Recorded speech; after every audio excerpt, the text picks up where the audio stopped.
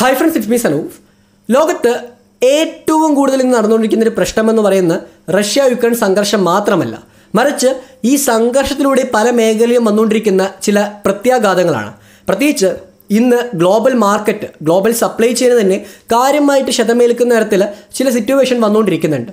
ചൈനയിൽ ലോക്ക്ഡൗൺ അതൊരു പ്രധാനപ്പെട്ട ഫാക്ടറായിട്ട് മാറുമ്പോൾ ഇവിടെ ആസിയാൻ കൺട്രീസ് എന്ന് പറയുന്ന association of south east Asian കൺട്രീസിന് കാര്യമായിട്ടുള്ള ചില നേട്ടങ്ങൾ ലഭ്യമാകുന്നുണ്ട്.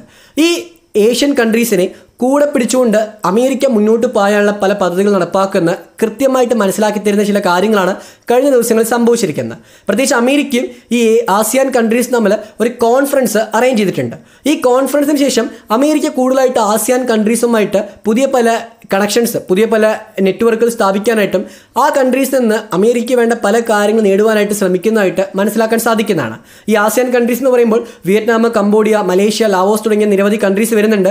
അതിൽ മ്യാൻമാറിനെ ഈ ഒരു വർഷം ഉൾപ്പെടുത്തിയിട്ടില്ല. കാരണം മ്യാൻമാറിൽ പട്ടാള ഭരണം സ്ഥാപിതമായിരുന്നു. അതുകൊണ്ട് മ്യാൻമാറിനെ അകറ്റിയെങ്കിലും ബാക്കിയുള്ള പ്രധാനപ്പെട്ട കൺട്രീസ് ഇവിടെ കടന്നു വരുന്നത് ചൈനയ്ക്ക് ബദലായിട്ട് ചൈന ഈ ഒരു കൺട്രീസുമായിട്ട് നല്ലൊരു ബന്ധം കാത്തു സൂക്ഷിക്കുന്നുണ്ട്. ഈ ആർ ഇ സി പി എന്ന് പറയുന്ന ഒരു ഒരു എഗ്രിമെന്റ് ഉണ്ട്. ഈ ആർ സി ഇ പി എന്ന് പറയുന്ന റീജിയണൽ ആയിട്ടുള്ള ഒരു എക്കോണമിക് കോഓപ്പറേഷന്റെ ഒരു പ്രോഗ്രാമാണ് സോ ഇതിന്റെ ഭാഗമായി തന്നെ ഈ ഒരു റീജിയനിലുള്ള രാജ്യങ്ങൾ പരസ്പരം സഹകരിക്കാനായിട്ട് ശ്രമിച്ചിരുന്നു. ആ ആർ സി ഇ പിയിലുള്ള മെമ്പേഴ്സും പ്ലസ് ഈ ട്രാൻസ് പസഫിക് മേഖലയിൽ വരുന്ന പസഫിക് ഓഷ്യന്റെ സമീപത്ത് വരുന്ന രാജ്യങ്ങൾ തമ്മിൽ കച്ചവടവും ബാക്കിയുള്ള പല കാര്യങ്ങളും ശക്തമാക്കുവാനായിട്ട് ടി പി പി പി എന്ന് പറയുന്ന ട്രാൻസ് പസഫിക് പാർട്ണർഷിപ്പ് എന്ന് പറയുന്ന മറ്റൊരു ഓർഗനൈസേഷനും ക്രിയേറ്റ് ചെയ്തിട്ടുണ്ടായിരുന്നു. ഈ ഒരു ഓർഗനൈസേഷനിൽ നിന്നെല്ലാം തന്നെ അമേരിക്ക ഡൊണാൾഡ് ട്രംപിന്റെ സമയത്ത് വിഡ്രോ ചെയ്തു. അവർ അവരുടെ ആ ഒരു താല്പര്യമില്ല എന്ന് പറഞ്ഞ് പിൻവലിച്ചിരുന്നു.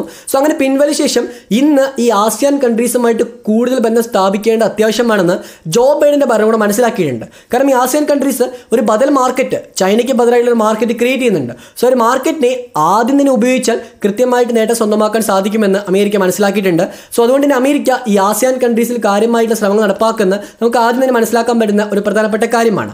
സോ അങ്ങനെ ഇരിക്കുമ്പോൾ ഇന്ത്യയിലെ ചില പ്രധാനപ്പെട്ട ടെക്നോളജിക്കൽ ഫാക്ടേഴ്സിനെ നമ്മൾ പരിഗണിക്കേണ്ടതുണ്ട്. പ്രത്യേകിച്ച് ഇന്ത്യ എന്ന് പറയുന്ന രാജ്യം ഒരു വളർന്നു വരുന്ന പ്രധാനപ്പെട്ട രാജ്യമായിട്ടൊന്ന് മാറുന്നുണ്ട്. സോ അങ്ങനെ ഇരിക്കുന്ന ഈ രാജ്യത്ത് ഞാൻ ഇതിനു മുമ്പത്തെ വീഡിയോ സൂചിപ്പിച്ച പോലെ തന്നെ ആസിയാൻ കൺട്രീസിന്റെ കയ്യിൽ ഇല്ലാത്തൊരു പ്രധാനപ്പെട്ട കാര്യം അടങ്ങിയിട്ടുണ്ട്. അത് മറ്റൊന്നുമല്ല മാൻ പവർ തന്നെയാണ്. സോ ജനസംഖ്യ കൂടുതലുള്ളതുകൊണ്ടും ഈ മേഖലയിൽ ഇന്ത്യ എന്ന് പറയുന്ന രാജ്യത്തിൽ കൂടുതൽ മാനുഫാക്ചറിംഗ് ഹബ്ബ് ക്രിയേറ്റ് ചെയ്യുന്നതിലൂടെ പല നേട്ടങ്ങൾ സ്വന്തമാക്കാൻ സാധിക്കുമെന്ന് പല വിദേശ കമ്പനീസ് മനസ്സിലാക്കിയിട്ടുണ്ട്.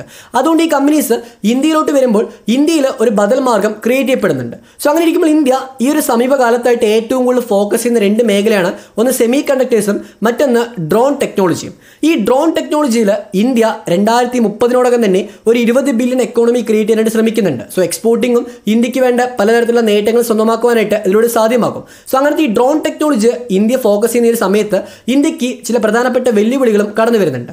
സോ വെല്ലുവിളി എന്താ നമുക്ക് ആദ്യം തന്നെ മനസ്സിലാക്കാം. അതിന് മുമ്പായിട്ട് ആ ഒരു കാര്യത്തെപ്പറ്റി മനസ്സിലാക്കാൻ തൊട്ട് മുമ്പായിട്ട് നമുക്ക് മറ്റൊരു വിഷയത്തിൽ കൂടെ അറിയേണ്ടതുണ്ട്. അതായത് ക്വാഡ് ഗ്രൂപ്പിന്റെ ഒരു മീറ്റിംഗ് ഈ വരുന്ന ഇരുപത്തിനാലാം തീയതി നടക്കുന്നുണ്ട്. ഈ മീറ്റിംഗിൽ ഈ കോഡ് നേവീസിന് കോഡ് കൺട്രീസ് ആയിരിക്കുന്ന ജപ്പാൻ ഇന്ത്യ അമേരിക്ക ഓസ്ട്രേലിയ തുടങ്ങിയ രാജ്യങ്ങളുടെ നേവി എങ്ങനെ അമേരിക്കെതിരെ ശക്തം ഈ ചൈനയ്ക്കെതിരെ ശക്തമായി മാറ്റാമെന്ന് ഒരു കൃത്യമായ നീക്കം നടപ്പാക്കുന്നുണ്ട്.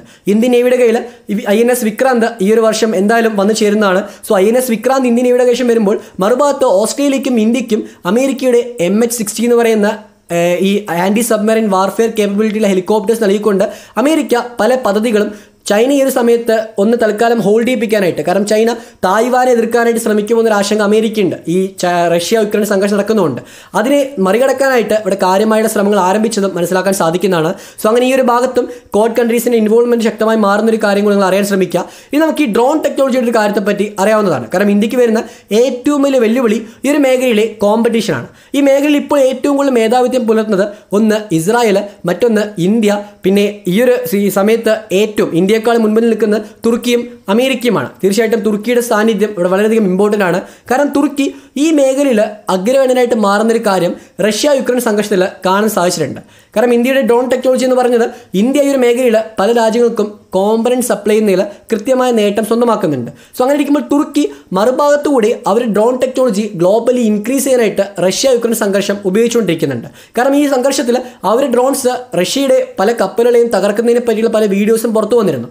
ഏറ്റവും ഒടുവിൽ റഷ്യയുടെ ഈ തുർക്കിയുടെ ബൈറാക്ടേഴ്സ് എന്ന് പറയുന്ന drones T B two drones ഈ ഒരു ഡ്രോൺ ഉപയോഗിച്ചുകൊണ്ട് യുക്രൈൻ റഷ്യയുടെ രണ്ട് ഫ്രിഗേറ്റ്സിനെ തകർത്തായിട്ടുള്ള വാർത്തകൾ പുറത്തു വന്നു. സോ ആ- ഡ്രോൺസിന്റെ മേധാവിത്വം ഈ യുദ്ധത്തിൽ ഏറ്റവും പ്രധാനമായിട്ട് മാറുമ്പോൾ യുക്രൈനും ഈ ഡ്രോൺസിനെ കാര്യമായിട്ട് പരിഗണിക്കുന്നുണ്ട്. ഓൾറെഡി പന്ത്രണ്ട് ഡ്രോൺസ് തുർക്കിയോട് ആവശ്യപ്പെട്ട് തുർക്കി ഡെലിവറി ചെയ്യുകയും ഇനി ഇരുപത്തിനാലിനും കൂടെ ആവശ്യപ്പെട്ടായിട്ടും വാർത്തകൾ പുറത്തു വരുന്നുണ്ട്. തുർക്കിയുടെ ഒരു മേഖലയിലെ അഗ്രഗണ്യത കൂടുതലായിട്ട് മെച്ചപ്പെടുത്താൻ സഹായിക്കുന്ന ഒരു കാര്യം കൂടിയാണ് ഈ ഒരു സിറ്റുവേഷൻ വന്നിരിക്കുന്നത്. സോ ഇന്ത്യയ്ക്ക് ഒരു പ്രധാനപ്പെട്ട കോമ്പറ്റീഷൻ തുർക്കി മാറുമെന്ന് നമുക്ക് തീർച്ചയായിട്ടും പറയാൻ സാധിക്കും. കാരണം സെൻട്രൽ ഏഷ്യയിലുള്ള കസക്കിസ്ഥാനുമായി ചേർന്നുകൊണ്ട് തുർക്കി പുതിയൊരു ഡ്രോൺ മാനുഫാക്ചറിംഗ് ടെക്നോളജി തന്നെ സ്ഥാപിക്കുന്നുണ്ട്. അതായത് ഈ ഒരു കസക്കിസ്ഥാനുമായി ചേർന്നുകൊണ്ട് കസക്കിസ്ഥാൻ ഓൾറെഡി സപ്ലൈ ചെയ്തിരിക്കുന്ന അൻക എന്ന് പറയുന്ന ഡ്രോൺ ഉണ്ട്.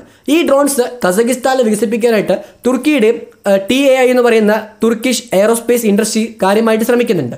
സോ തുർക്കിയുടെ ഈ ഒരു നീക്കം കൃത്യമായിട്ട് അവ നമ്മൾ പരിശോധിക്കുകയാണെങ്കിൽ തുർക്കിയുടെ ഈ ഗ്ലോബലി ഒരു ഡോമിനൻസിനുള്ള സാധ്യതകൾ കാണിച്ചു തരുന്നുണ്ട്. കാരണം ഇവർ ടൂണീഷ്യയ്ക്ക് കഴിഞ്ഞ വർഷം എൺപത് മില്യൺ ഡോളറിന്റെ ഒരു ഡീലുമായി ബന്ധപ്പെടുത്തിയിട്ട് കുറേയധികം ഡ്രോൺ സപ്ലൈ ചെയ്തിട്ടുണ്ടായിരുന്നു. സോ ആദ്യമായിട്ടായിരുന്നു ഈ ഒരു കാറ്റഗറിയിൽ പെടുന്ന ഡ്രോൺസ് തുർക്കി സപ്ലൈ ചെയ്യുന്നത്. അതുകൊണ്ട് തുർക്കിയുടെ ഒരു മേഖലയിലെ മേധാവിത്യം കൂടുതലായിട്ട് മാറുന്നത് ഇന്ത്യക്കും ഒരു തലവേദനയാണ്. തീർച്ചയായിട്ടും ഇന്ത്യ എങ്ങനെയായിരിക്കും തുർക്കിയുടെ ഒരു മേഖലയിലെ ആ ഒരു കോമ്പറ്റീഷൻ മറികടക്കാനായിട്ട് ശ്രമിക്കുക? ആ ഒരു കാര്യത്തെപ്പറ്റി നമുക്ക് പരിഗണിക്കേണ്ടിയിരിക്കുന്നു. കാരണം മറുഭാഗത്ത് ഇന്ത്യയ്ക്ക് ഭീഷണാന്തരത്തിൽ തരത്തിൽ പാകിസ്ഥാനും തുർക്കി ഡ്രോൺ ടെക്നോളജി കൈമാറുന്ന വലിയൊരു ചോദ്യം തന്നെയാണ്. തീർച്ചയായിട്ടും ഈ ഒരു കാര്യത്തെപ്പറ്റി നമുക്ക് ഇനിയുള്ള വീഡിയോസിൽ ഒന്നും കൂടി വിശദമായി സംസാരിക്കാം. സോ അങ്ങനെ ഇരിക്കുമ്പോൾ ഈ റഷ്യ യുക്രൈൻ സംഘർഷം കൂടുതലായിട്ടുള്ള ഒരു മേഖലയിലോട്ട് എത്തപ്പെടുന്ന കാര്യത്തെപ്പറ്റി മനസ്സിലാക്കാൻ സാധിക്കുന്നുണ്ട്. പ്രത്യേകിച്ച് ഈ ഒരു സംഘർഷത്തിന്റെ പേരിൽ യൂറോപ്യൻ യൂണിയനിൽ ഒരു അതിർത്തി ഉടലെടുത്ത കാര്യത്തെപ്പറ്റി മനസ്സിലാക്കാൻ സാധിക്കുന്നതാണ്. കാരണം യൂറോപ്യൻ യൂണിയനിൽ ഇപ്പോഴത്തെ രണ്ട് ജയൻസ് എന്ന് പറയുന്ന ഫ്രാൻസും ജർമ്മനിയുമാണ്. സോ ഫ്രാൻസും ജർമ്മനിയും രണ്ട് ഭാഗത്തു നിന്നായിട്ട് ഈ ഒരു സിറ്റുവേഷനെ വിശ വിശകലനം ചെയ്യുന്നത് തീർച്ചയായിട്ടും യൂറോപ്യൻ യൂണിയന്റെ അകത്ത് ഒരു ഭിന്നത ഉണ്ടോ എന്ന് കൂടെ സംശയം സംശയം ജനിപ്പിക്കുന്നുണ്ട്. കാരണം യൂറോപ്യൻ യൂണിയനിൽ എത്രയും പെട്ടെന്ന് ചേരണമെന്നാണ് യുക്രൈൻ ആഗ്രഹിക്കുന്നത്. പക്ഷെ അതിന് എന്തായാലും സമയം എടുക്കുമെന്നും വർഷങ്ങളോളം നീണ്ടുപോകുമെന്നും മാക്രോൺ സ്റ്റേറ്റ്മെന്റ് പറഞ്ഞു. സോ അതുകൊണ്ട് തന്നെ യൂറോപ്യൻ യൂണിയൻ ഈ ഒരു സിറ്റുവേഷനിൽ കൃത്യമായിട്ട് ഈ യുക്രൈനെ സഹായിക്കണമെങ്കിൽ ഒരു ബദലായിട്ടുള്ള ഒരു ഓർഗനൈസേഷൻ കൂടെ ക്രിയേറ്റ് ചെയ്തുകൊണ്ട് പെട്ടെന്ന് തന്നെ ഈ ഒരു മെമ്പർഷിപ്പ് ഒക്കെ നടപ്പാക്കുന്നത് ഫാസ്റ്റ് ചെയ്യണമെന്നും ഈ ഒരു മാക്രോണിന്റെ സ്റ്റേറ്റ്മെന്റ് പറയാൻ സാധിക്കും. സോ മാക്രോൺ പറഞ്ഞ ഒരു സ്റ്റേറ്റ്മെന്റ് തന്നെ യൂറോപ്യൻ യൂണിയന്റെയും നാറ്റോയുടെയും ഒരു ഡബിൾ സ്റ്റാൻഡ് മനസ്സിലാക്കാൻ സാധിക്കും. കാരണം യൂറോപ്യൻ യൂണിയൻ എന്ന് പറയുന്നത് ഒരു വെൽത്തിന് വേണ്ടിയിട്ട് സമ്പാദ്യത്തിന് വേണ്ടി മാത്രമായിട്ടുള്ള ഒരു ഓർഗനൈസേഷൻ ആയിട്ട് മാറപ്പെടുന്നുണ്ട്. സോ യു കെ ബ്രെക്സിറ്റ് വഴി അവിടെ നിന്ന് പുറത്തു വന്നപ്പോൾ യു കെക്കും പല പ്രശ്നങ്ങൾ നേരിടുന്നു വരുന്നുണ്ട്. പ്രത്യേകിച്ച് അവരുടെ സാമ്പത്തികമായ രംഗത്ത് വന്നിരിക്കുന്ന പ്രശ്നം തൊഴിലായ്മ മറുഭാഗത്ത് സെക്യൂരിറ്റി എന്ന് പറയുന്ന ഫാക്ടറെല്ലാം തന്നെ യു കെക്ക് വലിയൊരു ചോദ്യചിഹ്നമാണ്.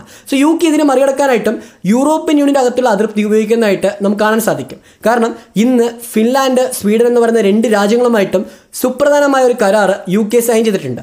ഈ കരാറിലൂടെ യു കെക്ക് വേണമെങ്കിൽ സ്വീഡനോ അല്ലെങ്കിൽ ഈ ഒരു ഫിൻലാൻഡിനോ എന്തെങ്കിലും ഒരു പ്രശ്നം വന്നാൽ ഒരു ഒരു കാര്യമായിട്ടുള്ള പ്രശ്നം വന്നു കഴിഞ്ഞാൽ അതിനെ തടയാനായിട്ട് സഹായിക്കാൻ സാധിക്കുമെന്നും വേണമെങ്കിൽ മിലിറ്ററി പരമായ സഹായം പോലും നൽകാനായിട്ട് യു കെക്ക് സാധിക്കുമെന്നും ഈ ഒരു എഗ്രിമെന്റിൽ പറയുന്നുണ്ട്. തിരിച്ച് യു കെക്കും പ്രശ്നം വന്നാൽ ഫിൻലാൻഡിനും സ്വീഡനും സഹായിക്കേണ്ടി വരും. സോ അങ്ങനത്തെ ഒരു എഗ്രിമെന്റ് സൈൻ ചെയ്ത് തീർച്ചയായിട്ടും റഷ്യയെ കൂടുതലായിട്ട് ചൊടിപ്പിക്കും. ഈ എഗ്രിമെന്റ് സൈൻ ചെയ്യുക മാത്രമല്ല മറിച്ച് ഫിൻലാൻഡ് വൈകാതെ നാറ്റോയിൽ ചേരുമെന്നൊരു പ്രഖ്യാപനം ഫിൻലാൻഡ് പ്രസിഡന്റ് നടത്തിയിട്ടുണ്ട്. ഈ പ്രഖ്യാപനത്തെ നാറ്റോ ഈ നാറ്റോയുടെ ചീഫും പ്ലസ് യുക്രൈന്റെ പ്രസിഡന്റും വെൽക്കം ചെയ്തിട്ടുണ്ട്. സോ ഈ ഒരു സ്റ്റേറ്റ്മെന്റ് വന്നത് റഷ്യയെ കൂടുതലായിട്ട് എരിയുന്ന തീയിൽ കൂടുതൽ എണ്ണ ഒഴിക്കുന്ന പോലെ നല്ല രീതിയിൽ ചൊടിപ്പിച്ചിട്ടുണ്ട്.